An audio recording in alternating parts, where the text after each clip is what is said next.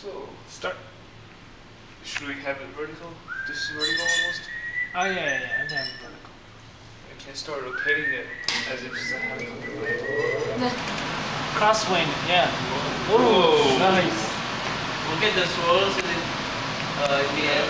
Yeah. This line bends over. There. Yeah, the, over the top of is. the other one. Wait, which one's going down? Which line is pointing down? Is it the bottom or the top? What do you mean pointing Like down? which which smoke smoke streak is going like outboard?